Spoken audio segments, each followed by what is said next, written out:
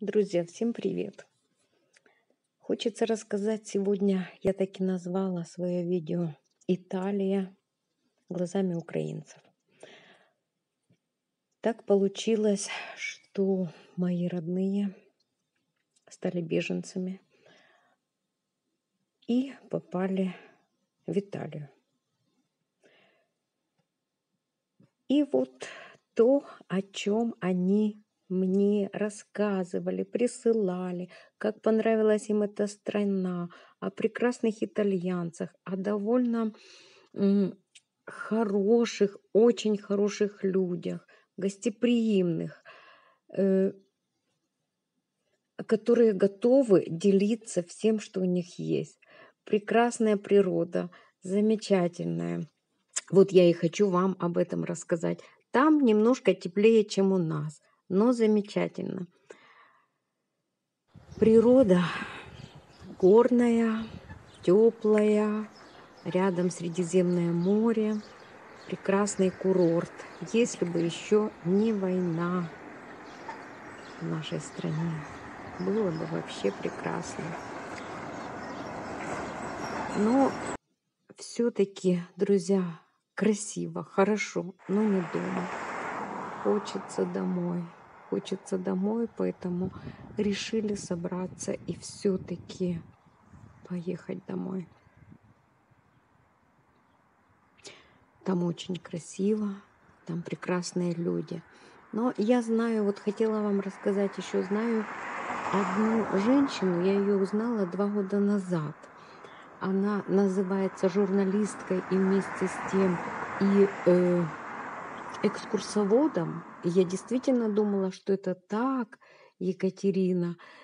Э, когда два года назад я смотрела ее видео, она рассказывала, итальянцы это тупые, карабинеры тупые. И вот хотелось узнать, права ли она. Нет, друзья, там прекрасные, умные, замечательные и добрые люди. Поэтому я ей, конечно, написала, она там ведет свои видео, я ей написала, Катя, вы кроме себя кого-нибудь уважаете? По всей видимости, нет. И она считает чужие деньги, а сама живет за какие-то деньги на вранье. Очень жаль, что погибают у нас мирные люди. Россия пришла к нам с войной, а другие и очень многие пиарятся на чужом горе. Это очень плохо.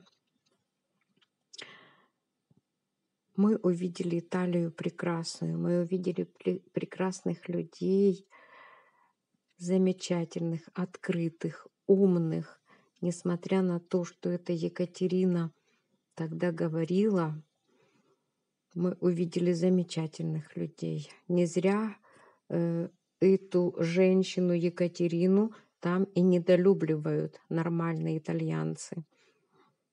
Потому что злостью может... Кто дышит злостью, тот злости получит. А мы видим только хорошее. Вот увидели то, чего у нас нет. Понятно, там немножко теплее. Мандарины, детвора вначале вообще радовались. Везде мандарины, растут мандарины это не только в магазинах. А говорит, э, сестра говорит, а кактусы, какие там громадные кактусы. Какие замечательные горы.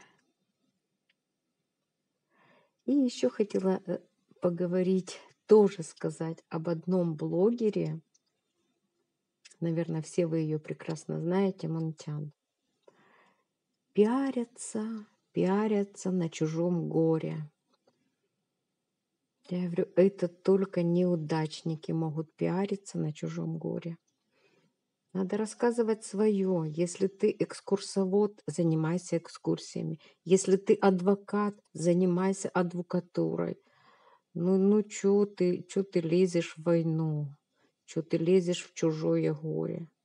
У нас очень много горя. И спасибо людям, тем, которые помогают, которые помогают как-то забыться от этого всего. Спасибо добрым людям, погода прекрасная. Я не раз говорю, какая красивая весна у нас, но какая красивая и прекрасная весна в Италии. Такие вот эти улочки прекрасные, замечательные. Средиземное море. Море, они все моря красивые. Средиземное особенно, оно мне показалось более соленым, не таким, как Азовское, не таким, как Черное, тем более вот, но более соленая.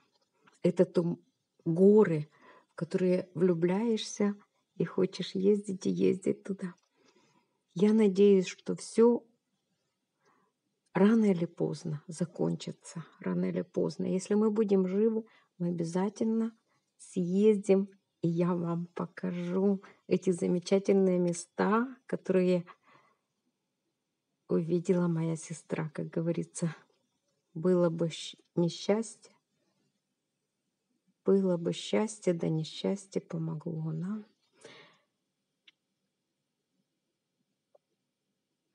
Друзья, подписывайтесь на мой канал, кликайте на колокольчик. У нас еще очень много хороших, прекрасных проектов, которые я, с которыми я хочу вас познакомить. И так как я люблю заниматься травами, буду рассказывать вам о травах, будем куда-то путешествовать вместе. До новых встреч в эфире. Хорошего вам дня, друзья!